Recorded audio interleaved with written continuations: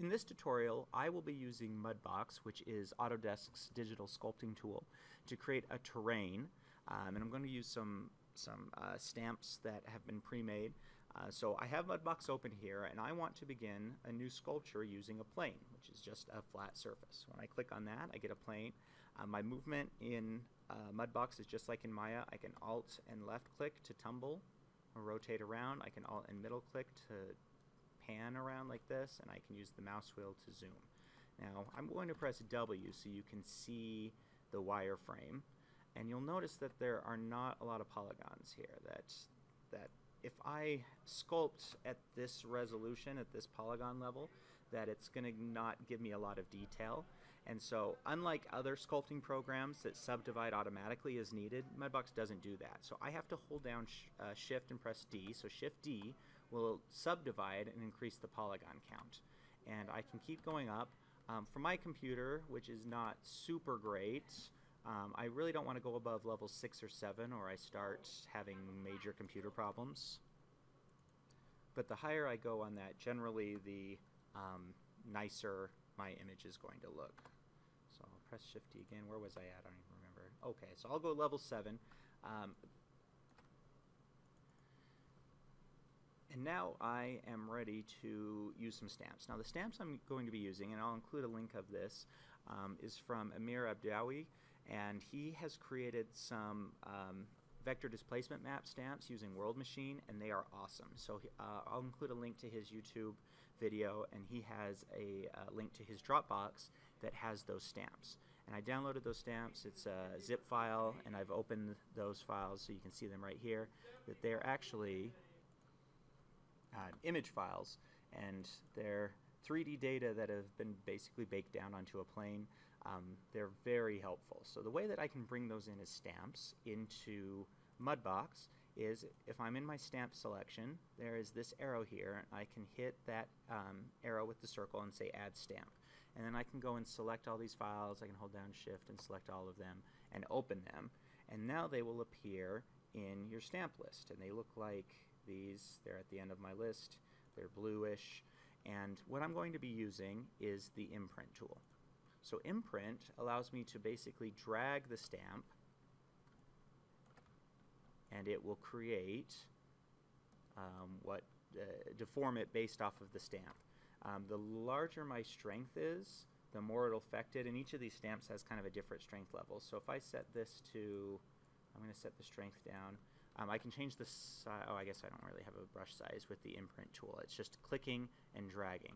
So that's it at 7. You can barely see it at all. Let me turn off the wireframe here again by pressing W. And if I set the strength to 100, now I have a bigger thing. Now, yours may look like this when you start with these edges, and the reason for that is something called fall off. So if I scroll down on this imprint tool down to the bottom, you'll see that there's a fall off setting. And this is basically um, how it deals with the strength of the brush um, over the distance of the brush. And the default one is this square. You'll notice that there is a tab here that says fall off. And a square just means that it's the same strength all the way. So it goes all the way to the end of the brush and then it just ends. But if I do the same thing and I choose this brush here, or this fall off, what it does here, and you can see this almost, you can treat this like the center of the brush. The strongest part of the brush will be at the center, and then it's going to weaken and weaken and weaken until it reaches the end, and then it'll just move out smoothly to the base. And I can even lay more of these on top of each other and create some pretty interesting designs. And I've got a bunch of different stamps here. Holding down um, control will send it the opposite direction. So in this one, it's a valley, this stamp but if I hold down control when I drag it, it's the other way. And I can always come back up here and change the strength to be less so that it's not affected as much. Uh, it's not affecting the environment. If I use a fall off, let me go back to this brush here. I'm going to turn it up a lot. Um, depending on which fall off I use, so with this one, for example, I create really strong peaks because um, the strongest part of the brush is here and then it very quickly falls off. But I can even drag this and change it a little bit. So if I want um, a peak that falls off very quickly but doesn't start as tall, I can do that by just changing the fall off. Or you can just use any of these preset ones. Most of them are set up to, to look good um, with, with these tools. And so I can very quickly now, just using these different mountains and dragging and using different um, strengths, different sizes, create a pretty cool looking environment. So maybe I'll uh, change my fall off. I'm going to make this a little lighter.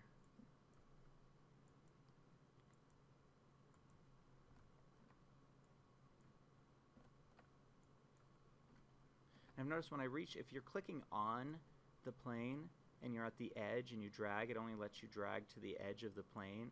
If you're off of the plane and you drag, then you can make it as big as you want. So I can just add some roughness, some texture to what I've been working with here. And now I have a pretty cool environment that was made really quickly um, using these awesome brushes. Um, while I'm in Mudbox, I can also do painting um, right onto this environment. So if I come here to Paint Tools, and I choose one of these and I click on the environment, I'm creating a TIFF image file on uh, that's laid over the top of this just like any other texture. And so that file will be saved separately when I export this to Maya. Um, I've just increased the resolution one. It starts at 2048. I'm changing it to 4096. Everything else I'm keeping the same. And when I click OK, now I can paint. So I have a paintbrush, and that brush will paint whatever color is here. Um, there's this airbrush, which is, um, whoops. I noticed with the airbrush, if I don't turn off use stamp image, it brings it in as black, but the airbrush gives me a lot more control over this. I probably want to choose a different color. When I click on this color box, I get my color chooser, so I can choose some different colors.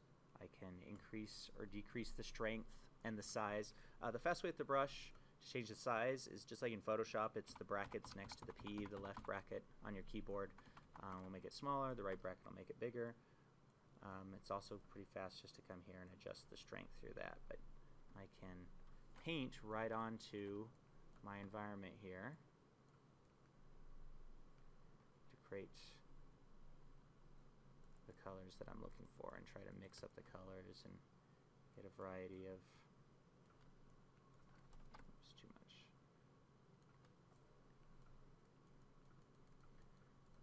And then um, once I've gotten this, I can bring it into uh, I can bring it into Maya very easily and use it with the existing things, um, which I will show in another tutorial video. So that's that. Um, when you're done, um, just save this for future use. When you do save scene as, it's going to save it as a .mud file, um, and you'll just want to make sure that you hold on to that. And that's how to use those terrain brushes in Mudbox.